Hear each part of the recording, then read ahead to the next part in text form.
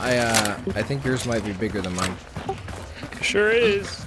Believe me when I tell you, this news has made me more excited than a 40 year old virgin winning a one way ticket to Nevada.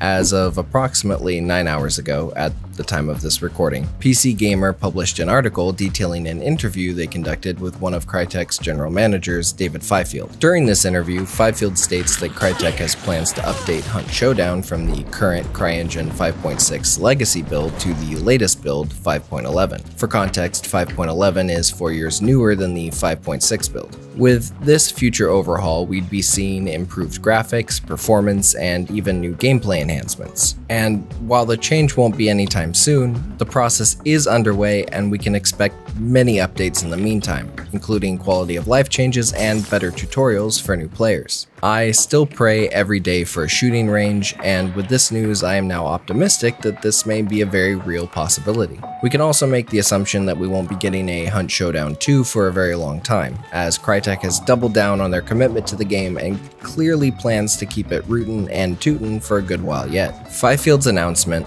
along with the recent experimentation with dynamic map conditions, the art department's ruthless talent, and the knowledge that a fix for the reload bug is on its way, has honestly made me delighted for the future of Hunt Showdown. So stick around for more Hunt content and maybe learn how to pronounce the name of this trait correctly. No, it's not Mythical Dentist.